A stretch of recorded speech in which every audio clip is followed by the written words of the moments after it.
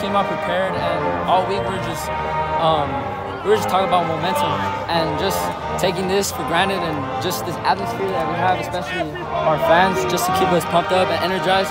That's what really got us going um, on offense. Uh, that play Arvy made, uh, just, yeah. I mean, that, that's the game right there. Yeah, I, I mean, that guy's something special.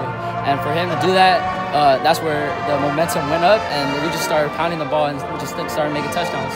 Well, you know, a- after that play, they had five consecutive three and outs. Yeah. What does that yeah. say about your defense? Well, my defense was prepared. I mean, I mean, in other games, yes, they would um, get caught up, but um, big time players make time make big time plays in big time games. So I'm proud of my defense. I'm proud of my offense. I'm proud of my whole team.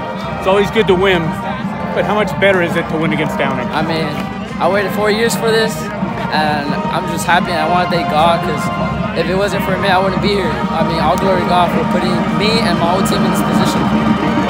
Yes. Thank you much. Thank Good you. luck the rest of the season. Appreciate it. Thank, thank you.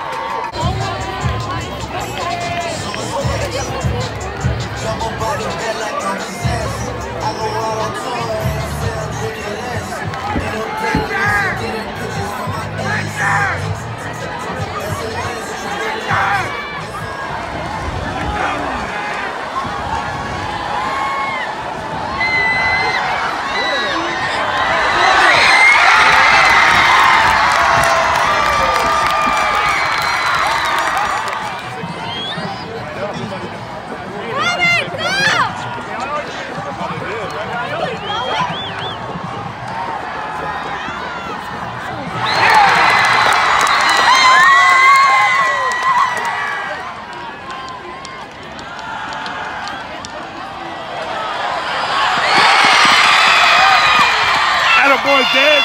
Atta boy, Dad.